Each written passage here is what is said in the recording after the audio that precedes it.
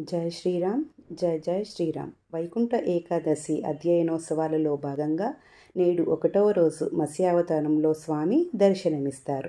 శ్రీ మహావిష్ణువు ధరించిన అవతారాల వరుసల్లో మొట్టమొదటి అవతారం మత్స్యావతారం. ఈ అవతారానికి సంబంధించి రెండు గాథలు పురాణాలలో ఉన్నాయి. ఒకటి జ్ఞాననిధులైన వేదాలను బ్రహ్మ నుండి అపహరించి సముద్రంలో దాగి ఉన్న సోమకాసుని సంహరించటానికై మత్స్యావతారం ధరించి వేదాలను ఉద్ధరించారు. రెండవది జలప్రళయం నుండి నావలో ఉన్న వైవస్వత మనువును సప్త ఋషులను సృష్టికి అవసరమైన విత్తనాలను ఔషధులను రక్షించారు. ఈ అవతారాన్ని పూజించటం వల్ల కేతుగ్రహ బాధలు తొలగిపోతాయి. ముసుసోమకుని మును చంపినయా మత్స్యమూర్తి మన పక్షమునుండగ తక్కువేమి మనకు? రాముండొక్కడుండు వరకు